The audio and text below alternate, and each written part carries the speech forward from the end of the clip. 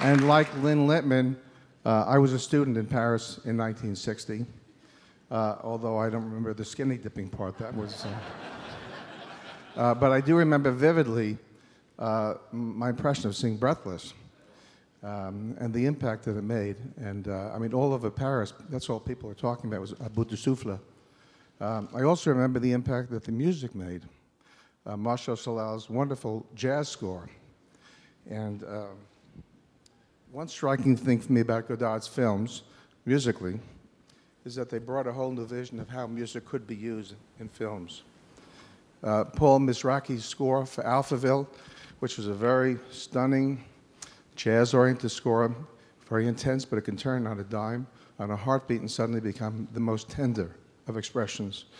Um, Georges Delerue very beautiful, haunting uh, string orchestra score. It was very unique at the time for uh, Contempt.